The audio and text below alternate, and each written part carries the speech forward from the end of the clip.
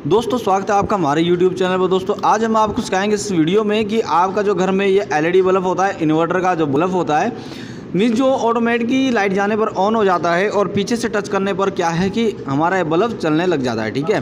तो आज हम इसी को रिपेयर करेंगे। दोस्तों, इसमें प्रॉब्लम ये आ रही है कि ना तो ये डायरेक्ट लाइट पे ये ग्लो हो रहा है और ना ही ये चार्जिंग पे चल रहा है। तो हम सीरीज़ लैम्प में इसको लगा के चेक करते हैं। तो ये हल्का सा ग्लो हो रहा है। मैं आपको दिखा देता हूँ। देखिए, हल्का सा ये ग्लो हो रहा है और ये ब्लिंक भी कर रहा है। इसकी क्या प्रॉब्लम है दोस्तों? बहुत ही छोटी सी प्रॉब्लम होती है दोस्तों और आप इसको बल्ब को अनजाने में फेंक देते हो। अब आज के बाद आप इस वीडियो को देखने के बाद इन ऐसे बल्ब को नहीं फेंकोगे। दोस्तों, मैं आपको बता दूँ, इसमें देखिए एलईडी जो इसमें लगी हुई है लाइटिंग इमिटिंग डायोड इसे कहते हैं एलईडी ये स्ट्रिप टाइप ये लगी हुई है। तो दोस्तों, इसमें क्या होता है?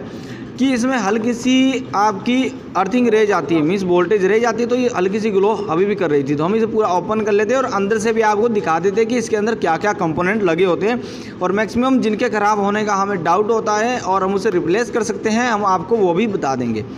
और इसके फॉल्ट को भी हम आपको इतने आसानी से बता देंगे कि आपको ऐसा लगेगा कि आप ये सारे, बहुत सारे बल्ब को आप एकदम से रिपेयर कर सकते हो। इसके लिए दोस्तों आपको एक सोल्डरिंग आयरन की ज़रूरत होगी और एक पेंचकस की ज़रूरत होगी और सोल्डरिंग पेस्ट वगैरह की ज़रूरत होगी। ठीक है दोस्तों? बाकी कुछ नहीं। ये इसके सर्किट है। ये देखिए दोस्तों, ये इसका सर्किट है, जो इन्वर्टर का सर्किट है। तो यहाँ कैपेसिटर लगे हुए पीले रंग के आपको दिखाई दे रहे होंगे दो। ये कैपेसिटर तो अक्सर ये कैपेसिटर फूल जाते हैं, इसके कारण भी ऐसी प्रॉब्लम आ जाती है। परंतु इसमें ये कैपेसिटर नहीं फूले हैं। ठीक है दोस्तों एक कैपेसिटर को ध्यान से देखिए, ऊपर से फूल जाते हैं तो ये दिक्कत आती है। बाकी कहीं पर भी कोई शॉर्ट सर्किट नज़र नहीं आ रहा है, ना ही कोई काले निशान, काला धब्बा नज़र आ रहा है। इसमें कुछ भी नज़र नहीं आ रहा। जबकि हम एलईडी जो इसकी शीट देखते हैं, जो पैनल लगा हुआ है एलईडी का तो इसमें दोस्तों मैं आपको चेक करके ही दिखा देता हूँ। मैं इसको सीरीज़ सप्लाई दे देता हूँ पहले, फिर आपको दिखाता हूँ। तो हम इसकी सीरीज़ लगा देंगे, ठीक है दोस्तों? और एक वायर का टुकड़ा ले लेंगे छोटा सा। ये देखिए, इतना सा एक टुकड़ा ले लेना है आपने वायर का, और इसी से हम इसे रिपेयर करेंगे। तो देखिए, हम इसको सीरीज़ में सप्लाई दे देते हैं यहाँ पर। मैं इसको वहाँ लगा देता हूँ सीरीज़ बोर्ड में। आपको डायरेक्टली नहीं चेक करना है सीरीज़ में ही चेक करना है। तो देखिए हल्की हल्की ग्लो कर रही है। मीन्स जो हमारी सप्लाई की जो एसी 220 वोल्ट पर जो हमारा बल्ब ग्लो करता है तो वो वाली एलईडियाँ हमारी ये हल्की सी जल रही है। जो अंदर वाला पैनल बंद है, वो हमारा चार्जिंग पे काम करता है। तो देखिए दोस्तों, हल्की सी ग्लो कर रही है तो और यहाँ पर आपको एक काले रंग का निशान भी दिखाई दे रहा होगा। एक एलईडी पे यदि आप गौर से देखेंगे तो एक काले रंग का निशान आपको यहाँ दिखाई दे रहा होगा, यहाँ पर। ठीक है दोस्तों? तो मैं आपको दिखा देता हूँ। ये देखिए दोस्तों, यहाँ पर ये काले रंग का एक धब्बा भी इसमें दिखाई दे रहा है।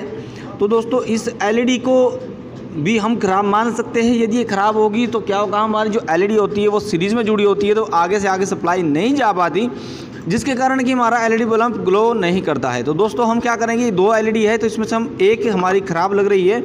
हम एक बार चेक करके दिखा देते हैं आपको। ये देखिए दोस्तों तो हमारी बाकी एलईडी सभी ग्लो कर रही है, परंतु जो ये वाली एलईडी है, ये वाली एलईडी हमारी ग्लो बिल्कुल भी नहीं कर रही है। ये हल्की सी ग्लो करती है, फिर बंद हो जाती है। तो हमने वायर को ऐसे ले लेना है वायर के टुकड़े को। ये देखिए दोस्तों, ऐसे आपने इस वायर के टुकड़े को ले लेना है और यहाँ हम जैसे ही टच करेंगे देखिए हमारी एलईडी ग्लो होने लग गई।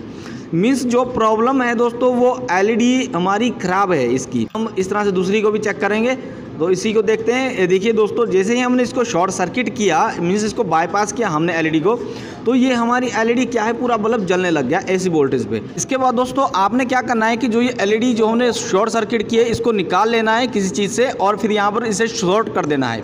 मिस सोल्डरिंग आयरन से इसे शॉर्ट कर देना है और फिर आपको मैं दिखाता हूँ शॉर्ट करने के बाद। देखिए, मैंने इस एलईडी को शॉर्ट कर दिया है तो मैं चेक करके आपको दिखाता हूँ। तो जैसे हमने कोई लोहे की चीज़ इसके पीछे लगाई तो हमारा ये जो इन्वर्टर है वो काम करने लग गया मीन्स वो चार्जिंग पे ये बल्ब चलने लग रहा है। मीन्स ये अच्छी तरह ग्लो कर रहा है। तो इसी तरह से दोस्तों, आप अपने किसी भी घर में एलईडी बल्ब को पड़े हुए, कोई भी एलईडी बल्ब है तो एक बार ट्राई करके ज़रूर देख लेना, क्योंकि कई बार तो सर्किट की प्रॉब्लम होती है, उसके लिए भी मैं वीडियो बना दूँगा। यदि आप हमें कहोगे कि आप वीडियो बनाओ इसके पूरे सर्किट पे, पूरे सर्किट डायग्राम में इसका बता दूँगा आपको, यदि आप पूछोगे मुझे कमेंट करके तो वो भी दोस्तों बता दूँगा। और दोस्तों अब इसी तरह से इसके एलईडी जो बल्ब होते हैं, उनमें ज़्यादातर प्रॉब्लम नहीं आती है। यही प्रॉब्लम होती है दोस्तों, एलईडी वगैरह इसकी कई बार शॉर्ट हो जाती है मीन्स ओपन हो जाती है तो उसके कारण क्या होता है कि हमारा बल्ब नहीं चलता। और दोस्तों, यदि आप सोल्डरिंग आयरन वगैरह और कोई अमेजोन से इलेक्ट्रॉनिक टूल्स का कोई प्रोडक्ट खरीदना चाहते हो तो मैंने डिस्क्रिप्शन में लिंक दे दिया है। यदि आप एलईडी बल्ब इन्वर्टर ही खरीदना चाहते हो तो मैं डिस्क्रिप्शन में मैंने लिंक दे रखा है तो आप वहाँ पर जाके इसे परचेज़ कर सकते हैं और अच्छे दाम पर परचेज़ कर सकते हैं। ठीक है दोस्तों, मिलते हैं अगले वीडियो में, तब तक के लिए नमस्कार और दोस्तों कमेंट करके ज़रूर पूछें दोस्तों अपने सवाल को।